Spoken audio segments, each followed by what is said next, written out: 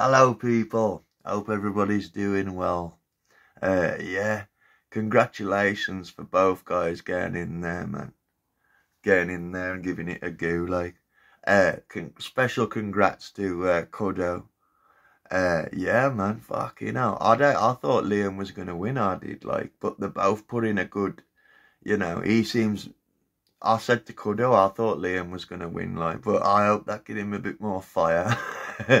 he's used the fire on the darters, but like he seems like uh, Liam's a lot more agile and that like, and uh, Cuddo seems to be a bit more of a power puncher. I, I got from that like, that's what I got. He just bides his time, man. It, fair play to both of them, and it was like uh, it was a good fight, man. Good little fight, like. And uh, as for the Shadow Bacon, man, with his jealousy, you can go and fuck yourself, bro. This this is how you put on a, like a fight. You know what I mean?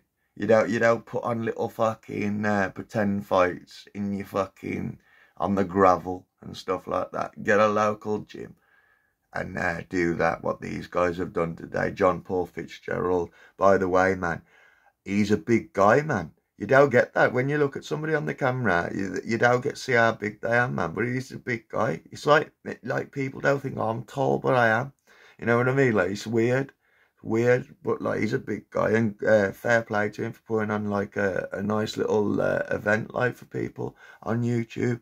Unlike Shadow Bacon, man, fucking promising so much and delivering so little. You know, and charging people money and that like and stuff like that. So yeah he's just like sour grapes because he wishes you could do this. But we both know why you can't get a local gym in there because people know what he is. They know what he is. They know what he is in the local area. So yeah, man, it's one of them.